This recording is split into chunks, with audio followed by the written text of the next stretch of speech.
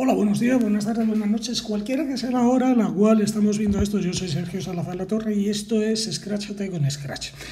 Eh, tengo muy poquito tiempo para explicaros exactamente cuál es eh, cómo se puede hacer un fondo que sea, que sea infinito, de estos que se mueven para un lado y luego y aparecen por el otro, como si fuera siempre.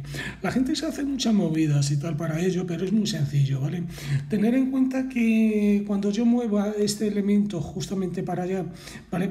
Es decir, si yo voy, moviendo un elemento hacia un lado o hacia otro, eh, realmente mm, llega un momento en el cual y tal sobresale un poquito de la izquierda o de la derecha. Vamos a quitar al gato, miau, y ahora a continuación le vamos a crear un fondo, el que sea. Por ejemplo, eh, yo que sé, uno que esté bien, por ejemplo, este de aquí, ese de ahí.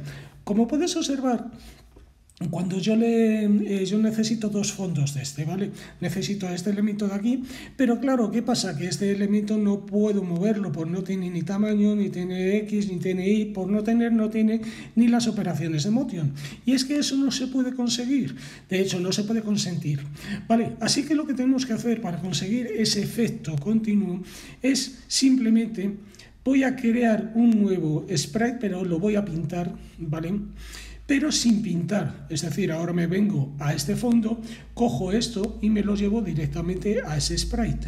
¿Vale? Con lo cual ahora vas a ver que tengo uno que se va moviendo, es un sprite. Y ese sprite sí tiene las opciones de mover. Genial, muy bien, estupendo. Ahora, ¿qué tenemos que hacer? Pues lo que tenemos que hacer es algo muy, muy, muy simpático. Tenemos que venirnos a este de aquí y lo vamos a eliminar, ¿vale? Vamos a pinchar en este y decimos que queremos eliminarlo. Para ello nos vamos a Pathrops, que son los fondos, y eliminamos ese. Ya lo tengo eliminado. Acto seguido, ¿qué hago? Este elemento de aquí lo voy a coger y lo voy a duplicar, ¿vale? Vas a ver que si me sitúo aquí, tiene que aparecer duplicate. En ese segundo que tengo justamente ahí, lo que voy a hacer, estate quieto, lo que voy a hacer es decirle que quiero en Costumes y en Costumes le voy a decir que quiero un flip horizontal, es decir, que vaya girando. Ahora tendría este y tendría este otro. ¿Vale? Y van a coincidir cada uno de, cada uno de los puntos, van a coincidir uno con el otro. Bien, vamos al primero, porque hay que hacer exactamente lo mismo, ¿vale? Lo primero que tengo que hacer es irme a código y decirle que en el evento de cuando yo clique esto, que en el otro va a ser exactamente igual, cuando yo clique esto, pero no, lo voy a hacer en uno nada más, en este. Tenemos que primero ponerle igual a 0, 0, ¿vale? Que se vaya al 0, 0. Que se vaya al 0. ¿Dónde está el 0? Ahí, al 0 y 0, ¿vale? Damos a Enter. Bien, ¿Qué va a hacer esto? Simplemente se va a situar ahí, en ese ahí. Y acto seguido lo que vamos a hacer es girarlo, ¿vale? Pero si nosotros le ponemos un forever, de momento le vamos a poner forever por siempre, que le vamos a decir que se vaya desplazando 10 puntos, ¿vale? Pero si yo hago eso, fíjate lo que ocurre, que se va a la derecha, ¿vale? Si yo le pusiera menos 10 puntos, se, iría, no le has puesto menos 10, le has puesto esto, menos 10, ya empezamos, Sergio. Es que va hacia el otro lado, pero va a llegar un momento en el cual se queda parado. Vamos a parar. ¿Qué posición es esa? Siempre va a ser menos 465. ¿Y qué hay que hacer ahí? Pues que continúe, ¿vale?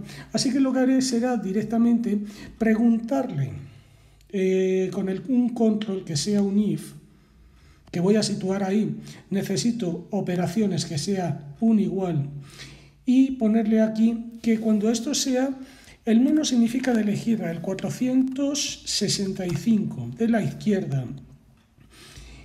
¿Y qué tiene que ser 465? La posición de la X. Así que digo X igual a esa posición. Eh, cuando sea pase eso, lo que tengo que hacer es volverle a situar a la derecha, es decir, cambiar, inicializar el valor de la x, set x to 465, que ya sabéis que 465, 65, y ahora ya lo está haciendo perfectamente, ¿vale? Muy bien, Lo ha hecho bien, ¿no?